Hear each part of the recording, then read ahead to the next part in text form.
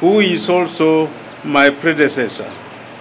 Having been a chair of KNEC Council from 2016 and having steered KNEC back to the right direction and now the CS Ministry of Education as well as as a council we have gained much.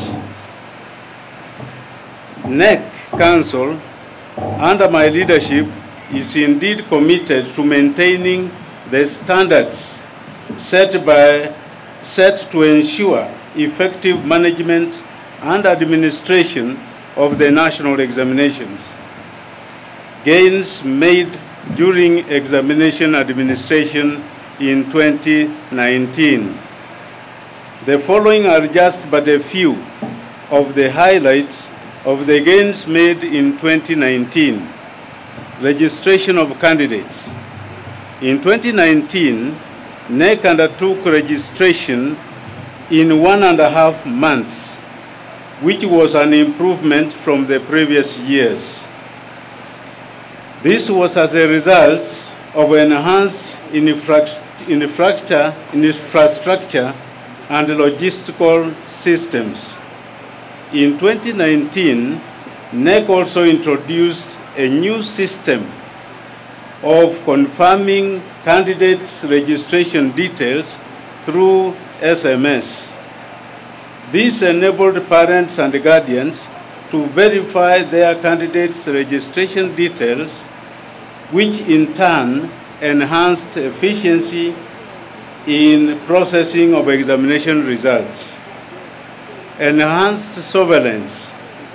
In 2019, KNEC maintained and ensured continual improvement in handling of examination materials, both during the internal processes as well as during the field administration.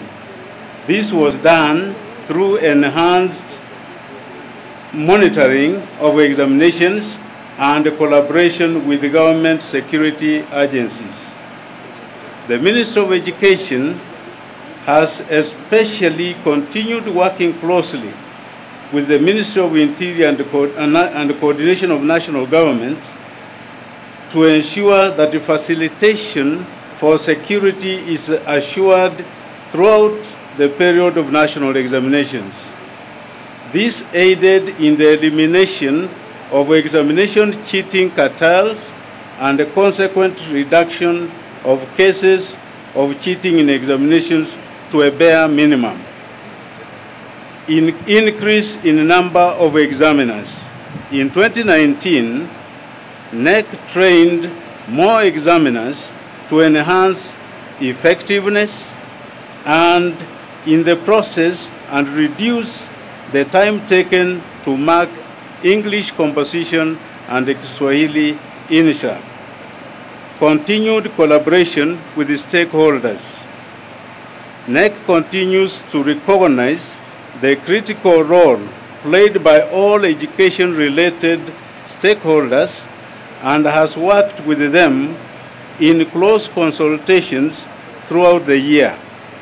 As a council, we continue to appeal to all stakeholders, including students, parents, teachers, unions, associations, media, and general public to marshal support in stemming out attempted examination malpractices. In conclusion, on behalf of the KNEC Council, I hereby wish to assure Kenyans that KNEC shall endeavor to offer credible examinations so as to offer certification which is recognized, valid, and reliable. With those remarks, I now wish to invite the PS, Dr. Belio Kipsang, the Principal Secretary, State Department of Education, Ministry of Education, to make his remarks and in turn invite the CEO or the CEO first. Okay, Madam. So May I take this opportunity to invite the CEO, Kenya National Examination Council, to continue with the program. Thank you, ladies and gentlemen.